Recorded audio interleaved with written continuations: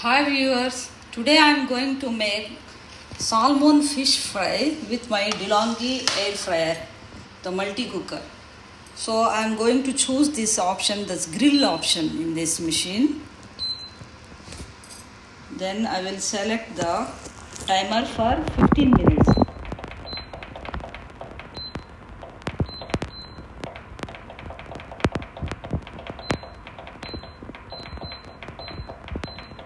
So the timer is 15 minutes. I set for 15 minutes.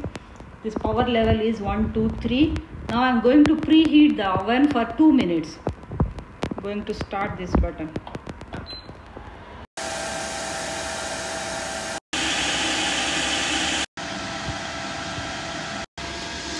Now the oven is ready.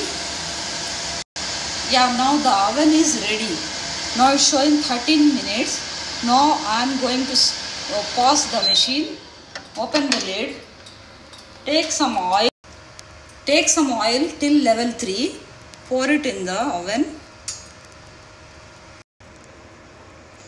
Take the salmon pieces which is already marinated, keep it inside slowly one by one without breaking.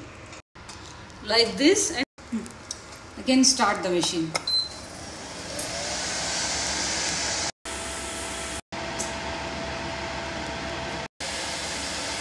Pause the machine, open the lid, oil brush. Start.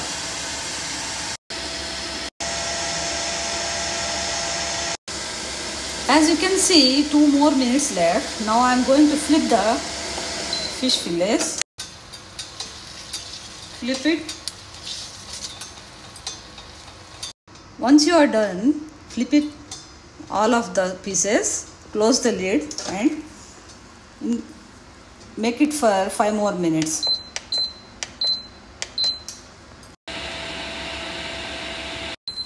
Time's up. It is now it is very nice and crispy. Now I am going to dish out my salmon fillets. It took me 20 minutes to finish this uh, fish fry with very less oil. Now it is ready.